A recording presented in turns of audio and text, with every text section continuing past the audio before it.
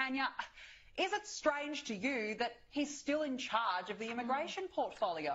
Uh, no, it's not strange, and, and primarily because um, Albanese picks and sticks with his mates.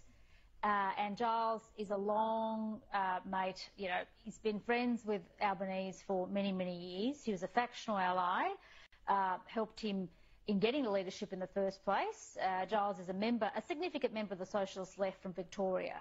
And as we know, Albanese is a member of the Socialist Left in New South Wales. So they've been friends for a very long time. And, and Albanese will stick with his mate here. Um, and for a couple of reasons. One, he doesn't want any instability. He knows, as somebody who lived through the Gillard and Rudd years, mm. he knows that any uh, disunity can lead to uh, huge problems for him. Mm. So he will not want to reshuffle his uh, cabinet, even though it may be in his interests and mm. certainly in the interests of Australia to move Giles on.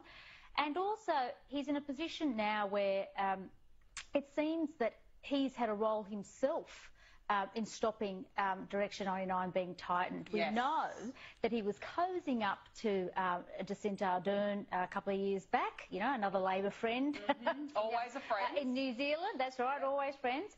And, uh, and he clearly agreed. He's denying it, but obviously some deal was struck at that time and he's sticking with it. And the problem he has is that if he uh, lets go of Giles, well, these issues will, will uh, uh, be presented and, and, become a major problem for him. So yeah. um, he will hold on to Giles for as long as he can. Yeah. I, I, he, I think he would rather go down with the ship than have uh, the facts uh, being presented to, to the yeah. public. Ultimately, well, we know that they put the interests of New Zealand in front of the interests of Australia. Oh,